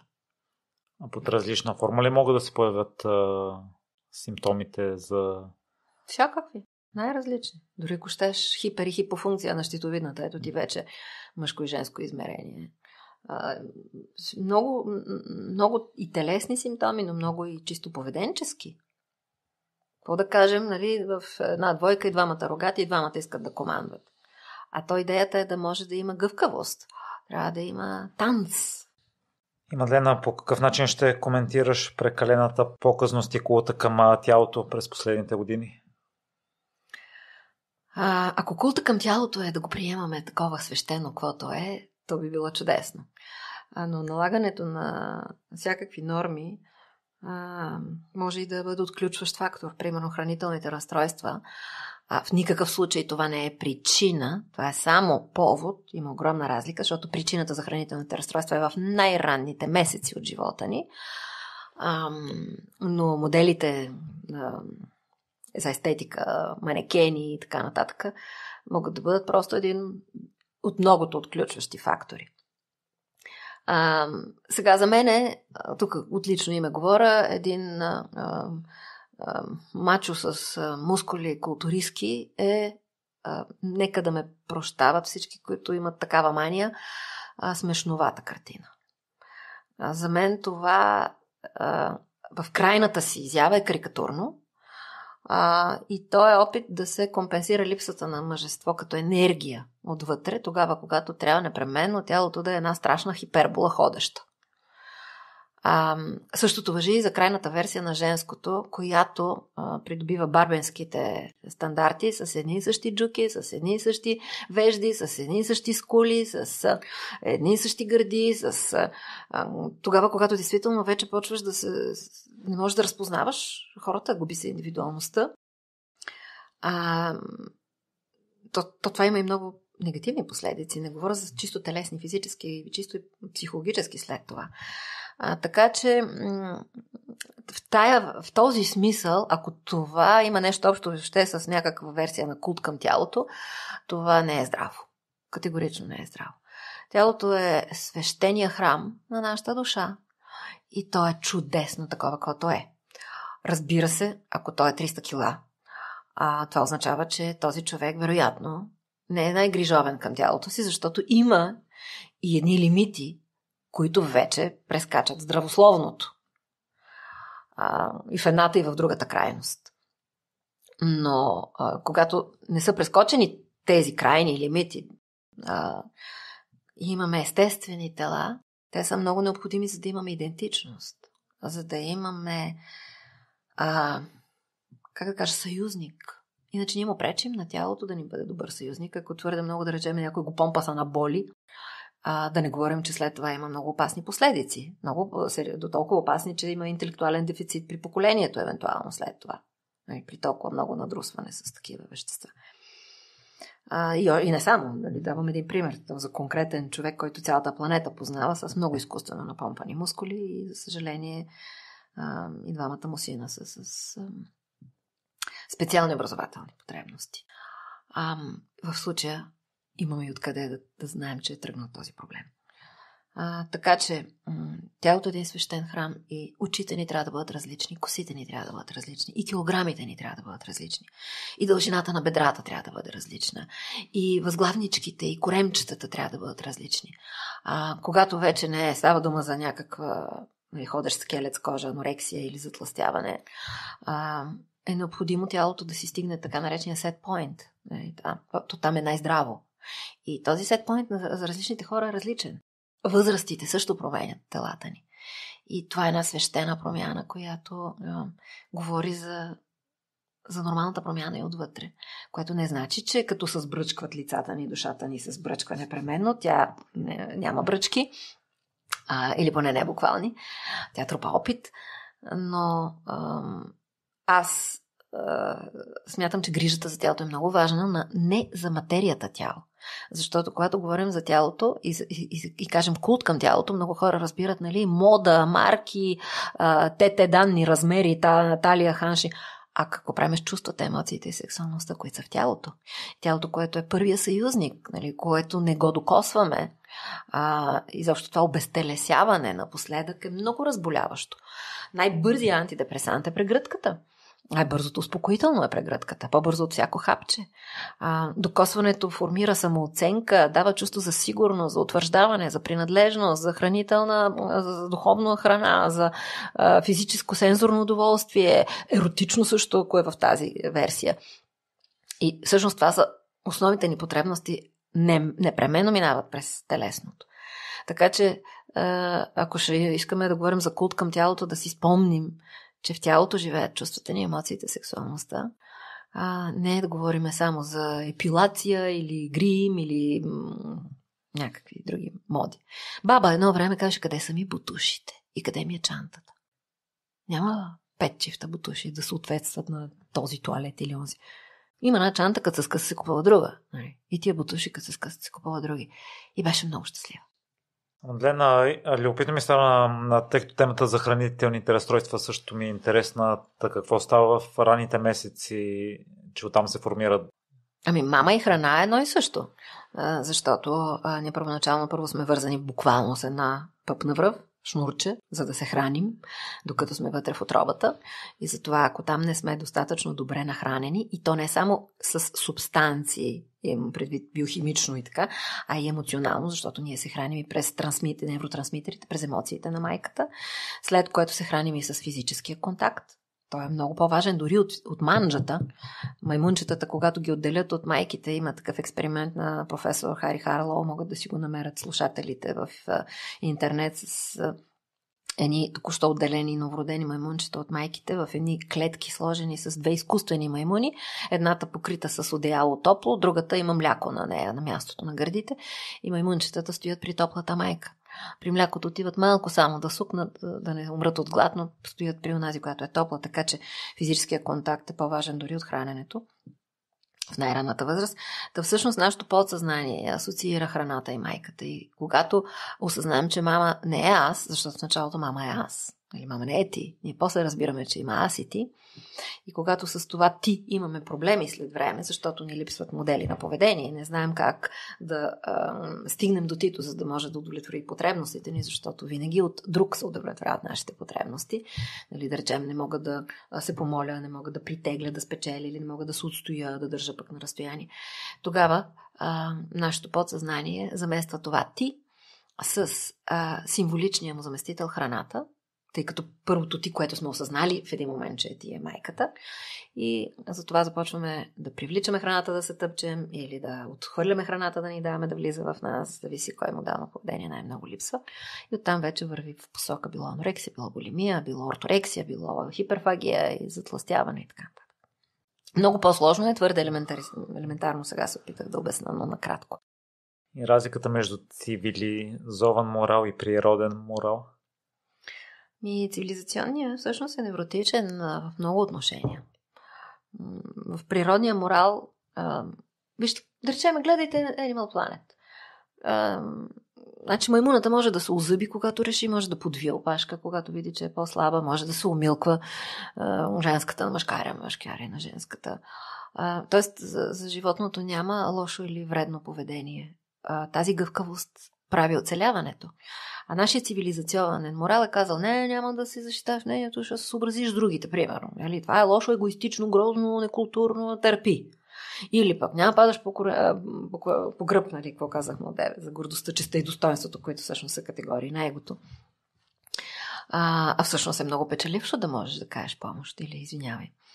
А, или пък а, а, не се изтъквай сам. И още хиляди такива неща, които а, са морално ценностни постулати, но те не са нормални, те не са здрави. Те не отговарят на нашата първо природа.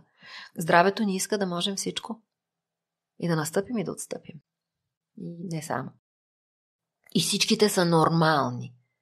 Но а, морала човешкия, което е форма на човешката арогантност и глупост, а, решава, че нещо, което е предвидено от Бог, дори, нали сме уж по негов образ и подоби, а, не е правилно. Ние знаем повече. Не, не, не. Ние няма да позволим на човека да бъде а, слаб, примерно.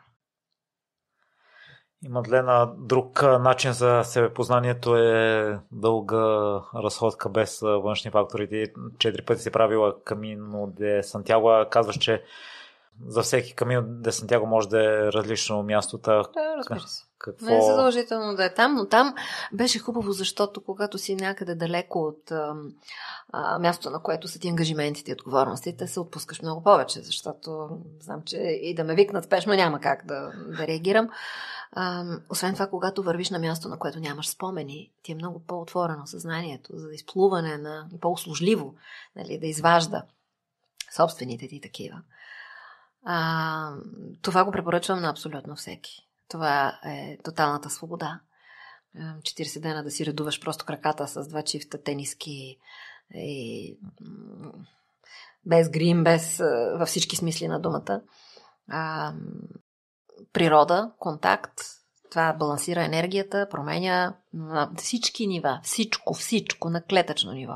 Биохимично, биофизично, а, психически. А, имаш време да си със себе си. А, всъщност, където и да е човек има това време, ако реши да си го даде. Но когато е тук, някакси, е сега ще се наложи да платиш парното или някой ти се обажда за нещо и... Та ти какво научи различно всеки път за себе си през тези четири преминавания? Ами, учих да съм сама, учих да съм в тихото, а, да дам време на въпросите вътре, които поникват и много стихове се родиха там. Едната ми книга ми е дневника от първото камино де Сантьяго, това, което е 800 километра. Пътя на сърцето се казва. А, научих се точно да чувам тялото, защото си възпалих петите, имаше и болка. А, много научих колко всъщност. Не, това не, не мога да кажа, че съм го научила. Просто някак то място за разкриване на тези неща, за много по-ясно виждане на тези неща. А, защото, сега, ако някой не е терапевт, а, може да преживее като страшен катарзис това нещо. Но когато ти работиш с катарзиса колко пъти на ден, когато си бил на въркшопи, тренинги терапевтични, а, такъв интензитет и такова налягане и толкова мощни емоции си преживял, че а, не мога да кажа, че там съм ги научила тия неща, защото то всеки един терапевтичен въркшоп е едно камено де Сантьяго към себе си. Но да, утвърдиха ми се колко хората сме еднакви. Там няма агресия, всички си помагат по пътя. Вървим, ние сме четири приятелки и колежки. Точно четири праскови е оставил някой преди нас. Толкова много чудеса се случиха, ма много чудеса. Тези неща, които бихме нарекли свръхестествени в това битие тук. Такива наистина, които паранормални, ма вече нямаме пара. Нали? Знаеме, че я махнахме още 2008 година, се махна представката пара. Има необясними неща, но няма паранормални. Всички са нормални. Това сме малки да ги обясним, не значи, че те не съществуват. Но там, да, там понеже ти е отворено полето и енергията и ам, толкова стихове слязоха и ам, знаеш, че ще има след 100 метра чешма и тя наистина е там. Някакви такива неща, които са почти като ясновидски се едно. Но всъщност там е нормално. И тук е нормално да могат да ни се случват, ако обаче си позволим да си умием а, петте сетива. Имаш ли си любима история от преминаванията през различните маршрути? Да, една, аз съм я описала. Много са. Те са страшно много но а, тази съм я описала и в... Тя сега се превърна в стих в пътя на сърцето. А, бях, или бях назад останала, или бях напред. Не мога да си спомня, защото ние сме четири, но всяка върви със своя темпо, понякога нали, върви сама, после сме заедно. И, и про, бях сама. И на една река, аз се събувам задължително, си натопя краката, в реката и на един камък седи една друга жена с раница пилигрим и плаче. Ама много горко плаче. И аз само отидох, приближих се, направих така, за да й дам, да разтворих ръце, за да й дам знак, че ако иска прегръдка съм тук, нали, стига да, ако ми каже да, ако ми каже не, бях готова. Обаче тя ме прегърна и 15 минути сме ревали като магарета с глас, с хлипане. Просто нито и знаех името на тази жена, нито и знаех националността. Възрастово горе-долу около моята възраст. А, нищо друго. 15 минути плакахме, ма толкова дълбоко и мощно, след което се стиснахме още по-силно, прегърнахме се, казахме си така, шът със знак пръст на устните и си продължихме. Не, аз и до сега не знам тази жена как се е казвала, откъде е. Обаче а, имах усещането, че знам защо плача и тя имаше усещането, че знае защо плача. И беше толкова споделено, толкова мощно. Трудно е. Думите ми липсват, въпреки че жонглирам с тях. за всяко нещо не могат да са достатъчни да бъде описано.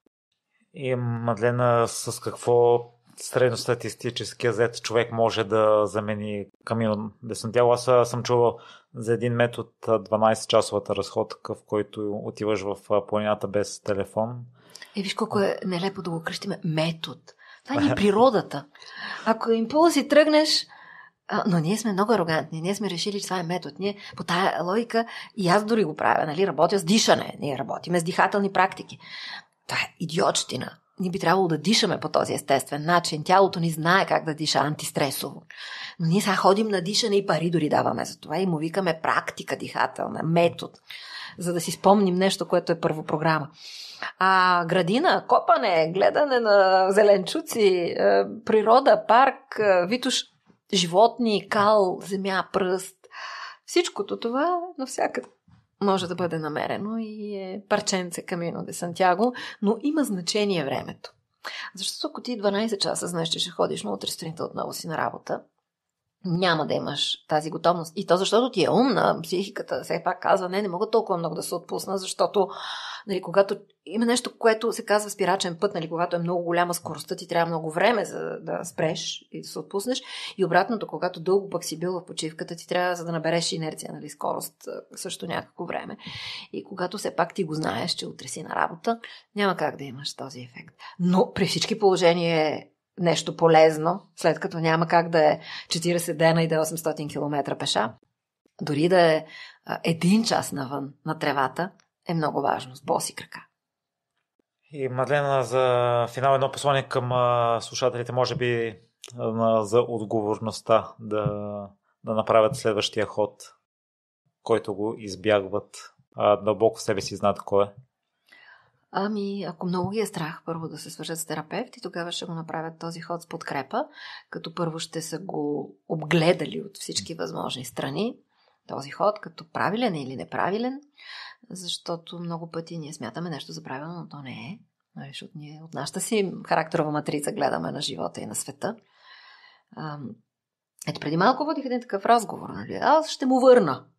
Нали? Ма как? Защо ще му върнеш? Защо? Виж, благодарение на това, което този човек ти е причинил, ти толкова неща научи. Ти трябва даже да изпиташ благодарност. Нали?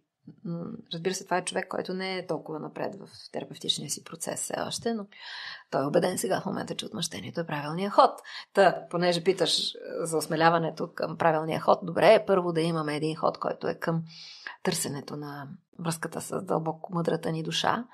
И там преводача обикновено е терапевта и посредника.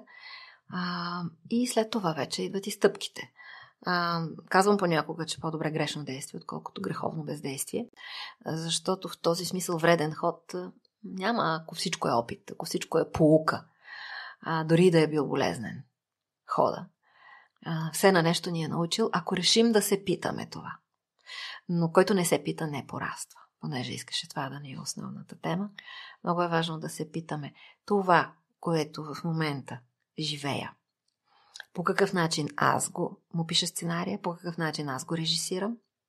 Като съпруга на режисьора, айде ще си служи с такива пък и нали, телевизионен човек. По какъв начин аз играя главната роля, а понякога може и статист да съм. По какъв начин съм публиката, която си ръкопляска или се освирква, а, за да може да се види по-голямата картина. И тогава разбирането започва да се променя каквото се случва и в един терапевтичен процес. И неща, които човек е слагал изцяло в графата плюс, после разбира, че са в графата минус и обратното. А после разбира, че няма абсолютен плюс и няма абсолютен минус. Ама Дена, още един въпрос. А, тъй като на мен може би най- ми помогна това, че преследвах някакви цели, но а, не даваха резултати. Трябваше да пробвам различни методи. Та, друг въпрос или ориентир, който може да ни насочи, че това, което правим, не сме на точния път за нас. За момента. И, онова под лъжичката не лъже, ама трябва да му дадем на него време също, да го послушаме малко, защото понякога така сме си сложили опойка, че дори и тялото, което е първия ни съюзник да запрати сигналите за дискомфорт, е анестезирано и сме оглушели за него. Така че чуваме вътрешния глас. Четем, търсим, някой, който все пак, нали, като не ти работи колата, я завеждаш на монтьор. Не се мъчиш сам. Е, значи отиваш при терапевта, защото става по-бърз и по-ефикасен този път. И по-малко болезнен, защото иначе живота също е терапевт. Обаче така болезнено ги преподава уроците, че когато човек всъщност тръгне на терапия доброволно, той минава и по-бързо и все пак малко по-лесно и съпроводен, подкрепен в този процес. Благодаря ти много. Благодаря и аз.